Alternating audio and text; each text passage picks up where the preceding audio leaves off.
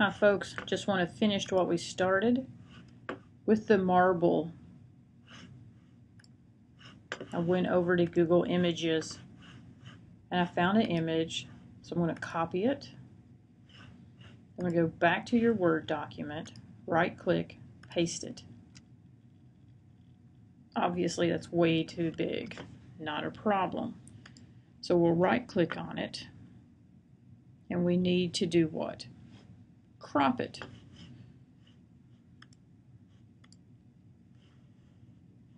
Format picture. There's the crop. And all we need is one marble. Yeah, I don't know why it's doing that. So let's just get it smaller first so we can deal with it. Go to format picture. There's my crop. That's what I wanted. All we need is one marble.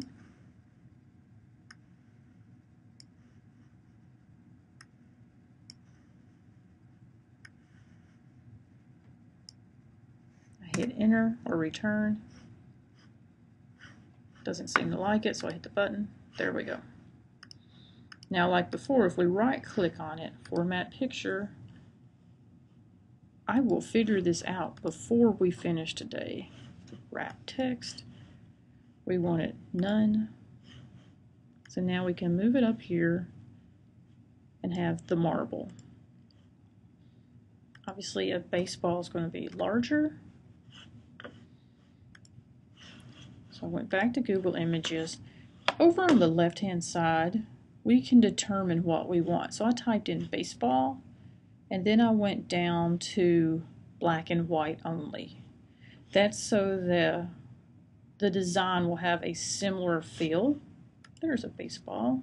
So I'm going to right click on that, copy the image, go back to the word in my baseball cell, paste it. Obviously way too big. Once again, by holding shift and going inward, I can keep my dimensions correct right click. Finally am I going to get it right? Grouping arrange wrap text. There we go. None. So you can move the baseball around. You could also do the same for a basketball. And I don't know if keeping the cells the way to go or if having them all go across horizontally. For instance, if you'd had table. Draw table. We don't want to draw table. Just kidding. Table, insert table. Three columns, one row. Okay.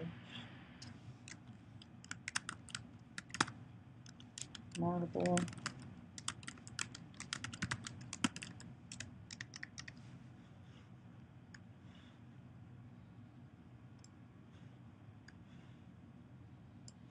Why am I thinking it like in these terms? To save space again.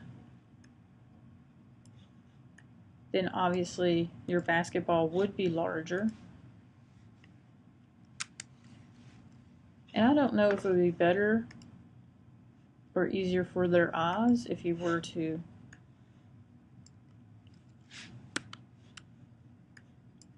put in a 1, 2, and 3. Okay, I got a little carried away.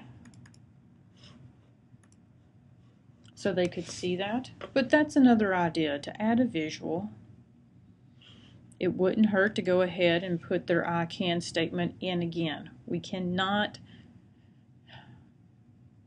be explicit enough with what the purpose of our lesson is.